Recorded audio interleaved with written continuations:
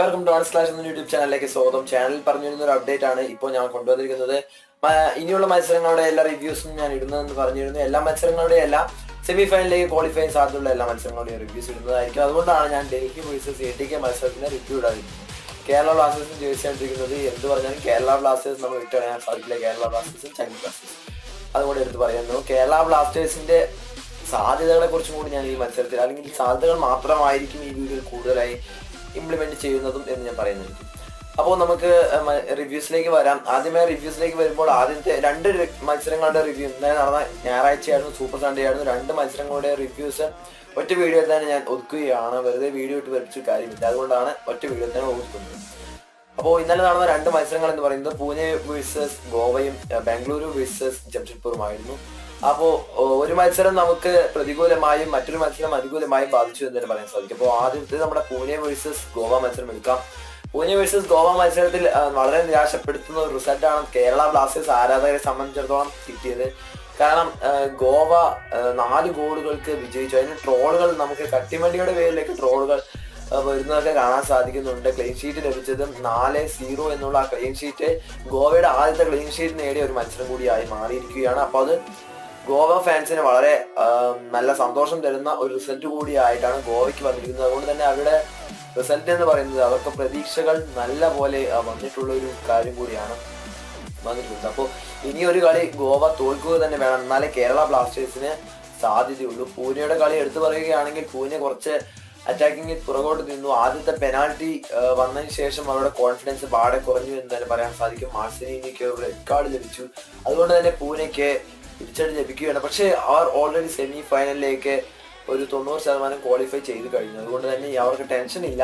പക്ഷേ അവരുടെ മത്സരത്തെ എടുത്തു പറയുകയാണെങ്കിൽ ഗോവയെ സംബന്ധിച്ചിടത്തോളം ആ ടീമിന്റെ മത്സരം എടുത്തു പറയുകയാണെങ്കിൽ പൂനെയെ പൂനെയുടെ ഭാഗത്തു നിന്ന് വളരെ മോശമായ പ്രകടനം കാഴ്ചവെക്കേണ്ടതായിട്ടുള്ള രീതിയിൽ വന്നു. ആദിൽ ഖാനാണ് ഡിഫെൻഡിങ്ങിൽ നല്ല പോലെ എന്ന് എടുത്തു പറഞ്ഞിരിക്കുന്നു. അടുത്ത മത്സരമാണ് Bangalore versus Jamshedpur F C നല്ല രീതിയിലുള്ള ഒരു മത്സരം തന്നെ എന്ന് പറയാം. ബാംഗ്ലൂർ എഫ് സിയുടെ മത്സരം കണ്ടുകഴിഞ്ഞാൽ നമുക്ക് ക്വാളിറ്റി ആ മത്സരത്തിന്റെ ക്വാളിറ്റി ആ പാസിംഗ് ക്വാളിറ്റി ആ പൊസിഷൻ ക്വാളിറ്റി എല്ലാം എടുത്തു പറയേണ്ടുന്ന ഒരു ടീം തന്നെയാണ്. കാരണം ബാംഗ്ലൂർ എഫ് സി എന്ന ടീം ഇപ്പോൾ ഓൾറെഡി സെമി ഫൈനലിലേക്ക് ക്വാളിഫൈ ചെയ്ത ടീമാണ് എന്നിട്ടും അവരുടെ ആ കോൺഫിഡൻസ് കളി ജയിക്കണം എന്നുള്ള ആ ഒരു രീതിയിലുള്ള കളിയാണ് ബാംഗ്ലൂർ പുറത്തെടുക്കുന്നത്. ആ ഒരു ആ കോച്ചിന്റെ മുഖത്തുള്ള ടെൻഷൻ കണ്ടറിയാം. ആ ഈ കളി ജയിക്കാൻ വേണ്ടി കളിക്കുന്ന കളിയാണ് എന്നുള്ള ആ രീതിയിൽ തന്നെയാണ് കളിച്ചത്. അത് കൃത്യമായി നിർവഹിക്കുകയാണ് ചെയ്തത്. ആദ്യത്തെ ഗോൾ പെനാൽറ്റിയിലൂടെ വന്നു. അത് കൃത്യമായി നിർവഹിച്ച് മിക്കു നീങ്ങിയെങ്കിലും രണ്ടാമത്തെ ഗോൾ ഒരു കോർണറിലൂടെ കൃത്യമായി ജംഷഡ്പൂർ സോറി സുനിൽ ഛത്രി നല്ല രീതിയിൽ സ്കോർ ചെയ്ത് ജംഷഡ്പൂരെ പിന്നിലാക്കിയിരിക്കുകയാണ്. അപ്പോൾ ജംഷഡ്പൂർ ഇനി ഒരു കളി തോറ്റു കഴിഞ്ഞാൽ നമുക്ക് വീണ്ടും അവസരങ്ങൾ നൂറ് ശതമാനം തുറക്കപ്പെടും എന്നുള്ള കാര്യത്തിൽ യാതൊരു സംശയവുമില്ല.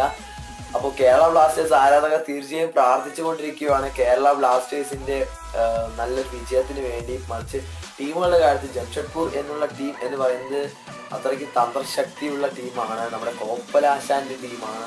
അതുകൊണ്ട് തന്നെ കോപ്പൽ വളരെ തന്ത്രപരമായിട്ടാണ് ചിന്തിക്കുന്നത് എന്നുള്ള കാര്യവും നമ്മൾ മനസ്സിലാക്കേണ്ട ഒരു കാര്യമാണ്. അപ്പോൾ എന്തുകൊണ്ടാണ് നമുക്ക് കാത്തിരുന്ന് കാണാം? ഇനിയുള്ള മത്സരങ്ങൾ വളരെ വളരെ വളരെ നിർണായകമായിരിക്കും. അപ്പോൾ കേരള ബ്ലാസ്റ്റേഴ്സ് ഇനി ബാംഗ്ലൂരുമായി വിജയിച്ചില്ലെങ്കിൽ തീർച്ചയായിട്ടും നമ്മൾ പുറകോട്ട് പോകും എന്നുള്ള കാര്യത്തിനും യാതൊരു സംശയവുമില്ല. അപ്പോൾ മറ്റൊരു കാര്യം പറയാനുള്ളത് ചാനലിനെ കുറിച്ചാണ്. ഇനിയുള്ള ദിവസവും ഞാൻ വീഡിയോസ് അപ്ലോഡ് ചെയ്യുന്നതായിരിക്കും. അപ്പോൾ എല്ലാവരും നല്ലപോലെ സപ്പോർട്ട് ചെയ്യുക ലൈക്ക് ചെയ്യുക ഷെയർ ചെയ്യുക സബ്സ്ക്രൈബ് ചെയ്യുക. അപ്പോൾ അത്രേ പറയാനുള്ളൂ. അപ്പോൾ നല്ല രീതിയിലുള്ള ന്യൂസുകളും കാര്യങ്ങളും ഒക്കെ നമ്മൾ ഷെയർ ചെയ്യുന്നതായിരിക്കും. അപ്പോഴേക്കും അടുത്ത വീഡിയോയിൽ കാണുന്നത് ബൈ ബൈ